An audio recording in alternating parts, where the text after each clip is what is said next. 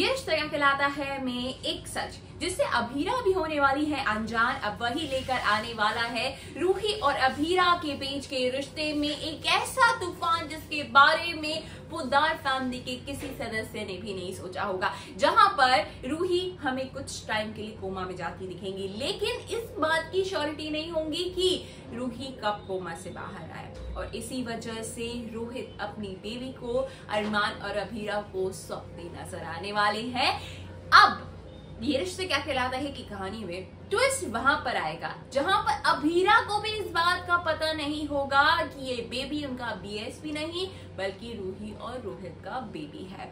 और बहुत ही जल्द रूही को होश भी आने वाला है। वो आने वाली है कोमा से वापस। अब एक्चुअली में जो सच सबके सामने है, वो ये है कि ये जो बेबी है, ये अरमान और अभीरा का है, लेकिन एक्चुअली में रूही और रोहित का बेबी है। तो अब जब रूही होश में आ जाएँगी तो जो रोहित ऑलरेडी खुद अपनी बेबी को लेकर अभीरा के पास पहुँच गए थे। क्या अब वापस से अपनी बेबी को अपने पास लाने के लिए वही रोहित अभीरा के सामने एक बार फिर से हाथ फैलाते नज़र आने वाले हैं और अपना हक मांगते नज़र आने वाले हैं। जाने के लिए स्टार्टस के शो ये रिश्ते क्या कहलाता है। लगातार देखते रहिए स्क्रिप्टेड को सब्सक्राइब करना बिल्कुल आप भूलिए। Bye everyone